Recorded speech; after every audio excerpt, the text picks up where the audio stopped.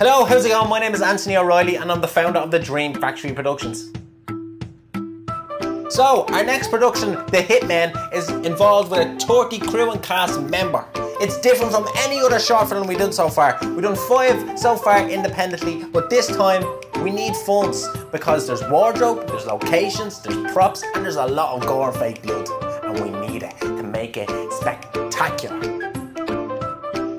The Hitmen is a 25 minute short film about two Irish hitmen that are waiting in a car and reminiscing on stories of their hits back in the day together. From penises flying across the room to having 30 second sex with a Russian woman. It's magnificent.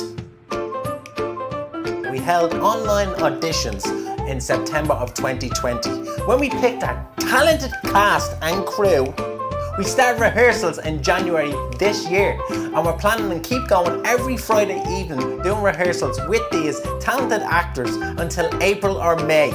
We're looking to shoot in around June or July, so we don't really have that much time left. So we need your help to help us fund this film so we can get every single thing down so everybody is on board.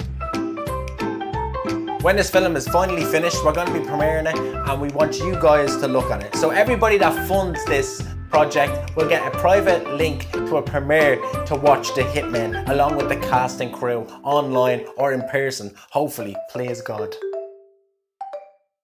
And if you want to find out any more information about us, about videos behind the scenes and the cast and crew of the upcoming film, Links down below to our Instagram page and also check out our YouTube page. We still have a lot of short films out there as well that you might be interested in, just to get a feel for what we're like. So thank you very much for watching this video. We really appreciate any help you can put towards helping us fund it and we'll chat to you in a bit.